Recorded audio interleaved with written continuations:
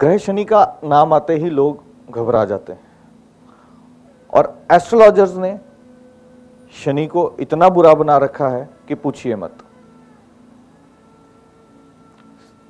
तेरा ढैया चल रहा है, साढ़े सती चल रही है तो ये हो जाएगा, वो हो जाएगा, ऐसा होगा, वैसा होगा। शनि है क्या? शनि एक न्यायप्रिय ग्रह है। उसे किसी भी प्रकार का अनजस्टिस पसंद नहीं। शनि मेहनत करवाता है।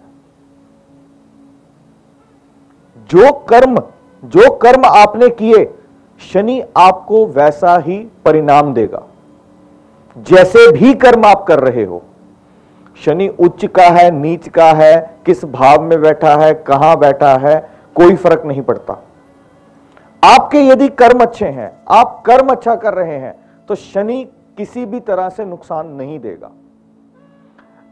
शनि नुकसान केवल उन लोगों को देता है जो किसी से न्याय नहीं करते, किसी का व्यर्थ का पैसा मार लिया।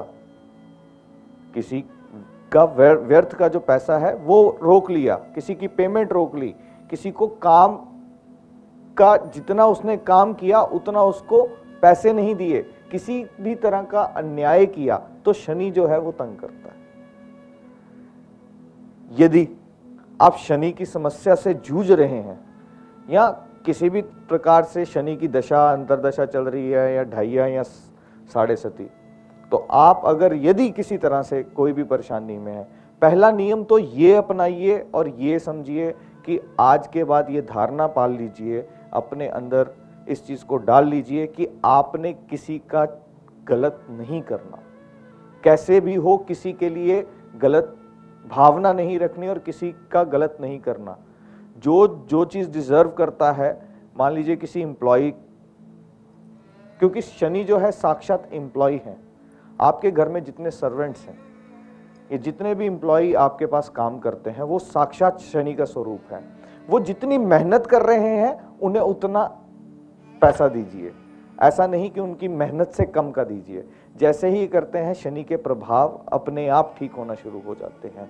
और साथ ही पश्चिम दिशा, जो वेस्ट दिशा है, जो वेस्ट डायरेक्शन है, वो शनि को गवर्न करती है। वेस्ट साउथ वेस्ट का सेकंड पार्ट वेस्ट पूरा और वेस्ट नॉर्थ वेस्ट का फ़र्स्ट पार्ट जो है, वो प्लेनेट शनि गवर्न करता है। यदि आप ये नियम अपनाते हैं कि आप किसी का गलत नहीं कर रहे, किसी का बुरा नहीं कर रहे तो शनि पहली बात तो कि गलत प्रभाव देगा ही नहीं। अब यदि फिर भी आपको कोई दिक्कत आ रही है, कोई अड़चन आ रही है तो अब आप क्या करेंगे?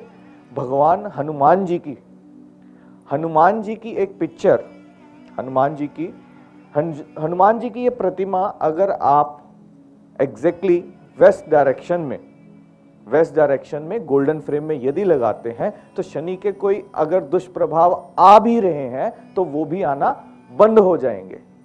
तो ये जैसे ही आप उपाय करते हैं तो पश्चिम दिशा में जो शनि की दिशा है वहाँ जैसे ही हनुमान जी स्थापित की, की करते हैं तो आपको शनि किसी भी तरह से परेशान करना बंद कर देता है। कोई भी दिक्कत नहीं आती।